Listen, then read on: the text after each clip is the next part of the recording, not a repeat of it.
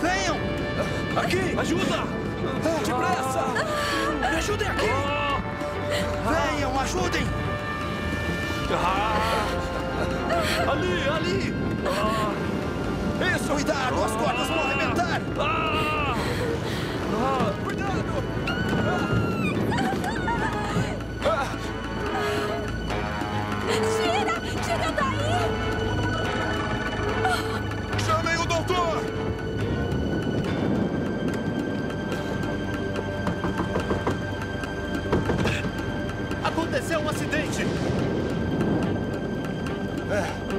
Isso.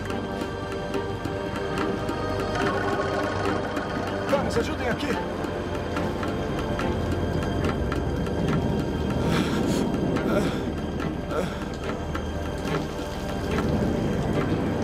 Lucas foi um dos primeiros gentios a se converter ao cristianismo. Ele era um valoroso e leal companheiro do apóstolo Paulo. Ele viajou muito com Paulo, em regiões do Oriente Médio e da Europa.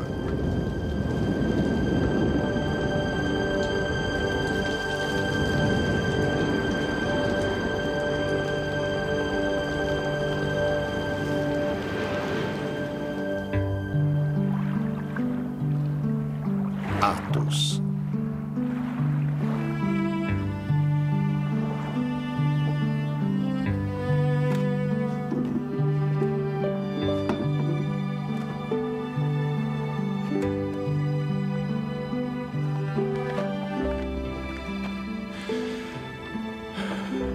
Em meu livro anterior, Teófilo, eu.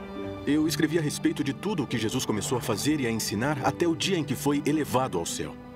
Depois de ter dado instruções por meio do Espírito Santo aos apóstolos que havia escolhido. Depois do seu sofrimento, Jesus apresentou-se a eles e deu-lhes muitas provas indiscutíveis de que estava vivo. Apareceu-lhes por um período de 40 dias, falando-lhes acerca do reino de Deus. Certa ocasião, enquanto comia com eles, deu-lhes esta ordem: Não saiam de Jerusalém. Mas esperem pela promessa de meu pai, da qual lhes falei. Pois João batizou com água, mas dentro de poucos dias vocês serão batizados com o Espírito Santo. Então os que estavam reunidos lhe perguntaram. Senhor, é neste tempo que vais restaurar o reino a Israel? Ele lhes respondeu: Não lhes compete saber os tempos ou as datas que o Pai estabeleceu pela sua própria autoridade. Mas receberão poder quando o Espírito Santo descer sobre vocês. E serão minhas testemunhas. Em Jerusalém, em toda a Judéia e Samaria e até os confins da terra. Tendo dito isso, foi elevado às alturas enquanto eles olhavam.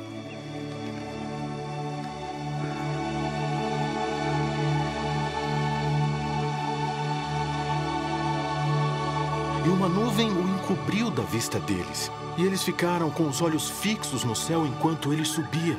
De repente surgiram diante deles dois homens vestidos de branco, que lhes disseram: Galileus, por que vocês estão olhando para o céu?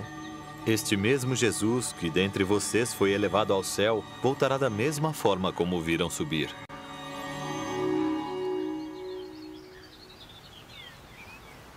Então eles voltaram para Jerusalém, vindo do monte chamado das Oliveiras, que fica perto da cidade, cerca de um quilômetro. Quando chegaram, subiram ao aposento onde estavam hospedados.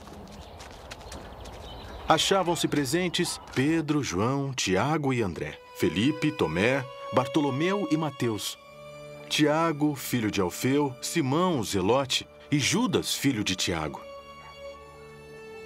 Todos eles se reuniam sempre em oração com as mulheres, inclusive Maria, a mãe de Jesus, e com os irmãos de Jesus.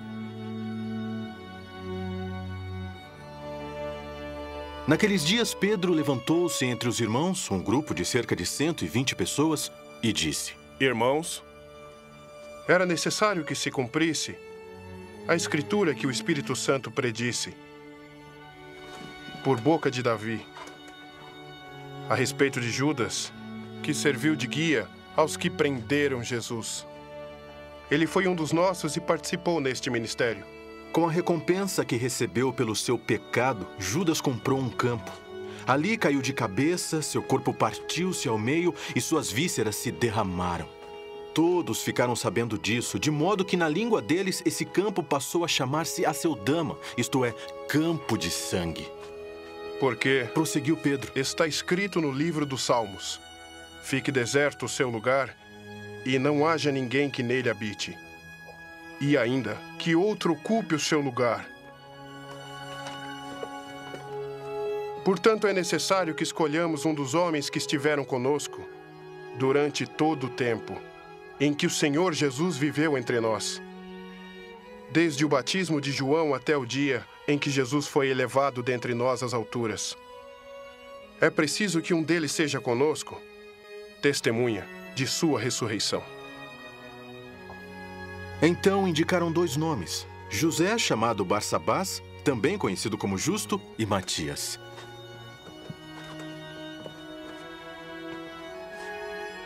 Depois oraram. Senhor, tu conheces o coração de todos. Mostra-nos qual destes dois tens escolhido para assumir este ministério apostólico que Judas abandonou, indo para o lugar que lhe era devido. Então tiraram sortes, e a sorte caiu sobre Matias. Assim, ele foi acrescentado aos onze apóstolos.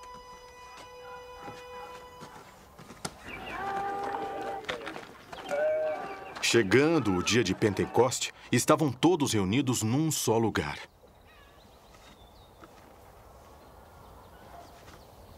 De repente veio do céu um som, como de um vento muito forte, e encheu toda a casa na qual estavam assentados.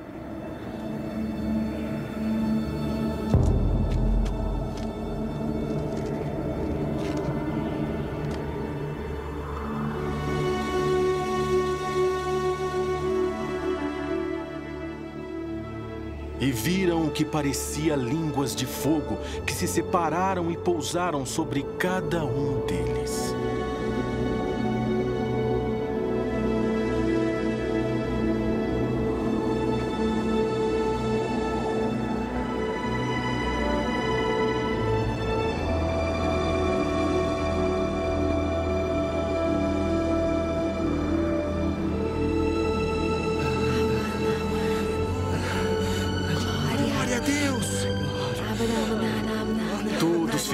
Cheios do Espírito Santo e começaram a falar noutras línguas conforme o Espírito os capacitava. Havia em Jerusalém judeus tementes a Deus, vindos de todas as nações do mundo. Ouvindo-se este som, ajuntou-se uma multidão que ficou perplexa, pois cada um os ouvia falar em sua própria língua. Atônitos e maravilhados, eles perguntavam: Acaso não são galileus? Aqueles homens que estão falando?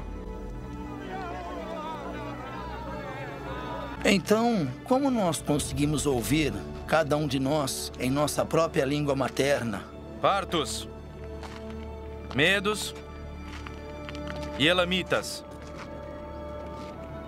habitantes da Mesopotâmia, Judéia e Capadócia, Ponto.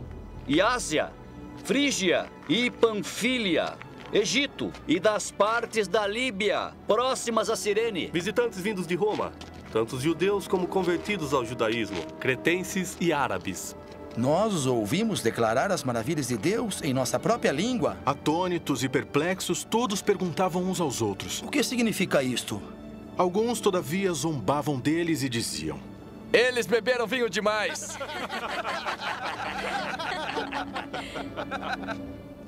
Então Pedro levantou-se com os onze e em alta voz dirigiu-se à multidão. Homens da Judéia e todos os que vivem em Jerusalém, deixe-me explicar-lhes isto. Ouça com atenção o que vou dizer. Estes homens não estão bêbados, como vocês supõem. Ainda são nove horas da manhã. Mas isto é o que foi predito pelo profeta Joel. Nos últimos dias, diz Deus, derramarei do meu espírito sobre todos os povos. Os seus filhos e suas filhas profetizarão. E os jovens terão visões, e os velhos terão sonhos. Sobre meus servos e minhas servas derramarei do meu espírito naqueles dias. E eles profetizarão.